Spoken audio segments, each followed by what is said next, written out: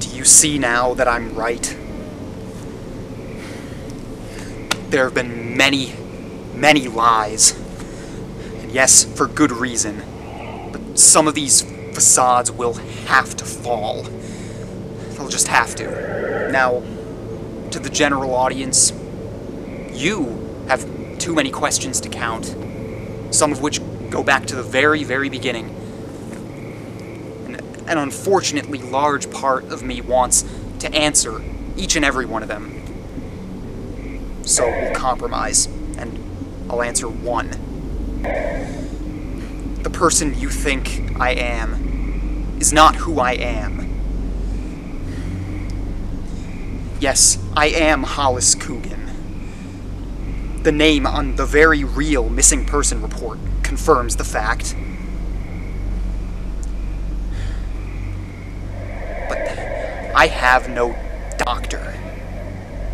I had no confusion, no problems.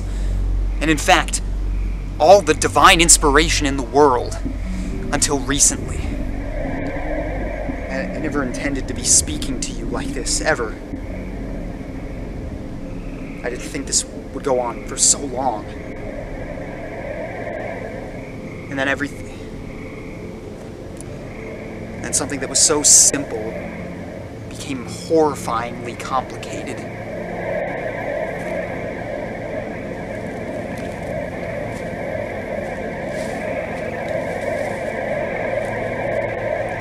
This, this idea chose me. It came to me for a reason.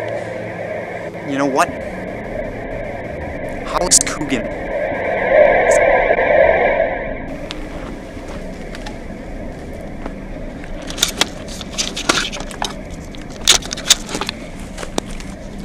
I, I guess this new life of mine continues.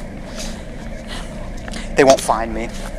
I hop from place to place, daily, and sometimes more. I'm good at it. It does suck, but believe it or not, it's still an improvement over my previous living situation. So, to everyone that it concerns, you should watch for me, because now I can go anywhere.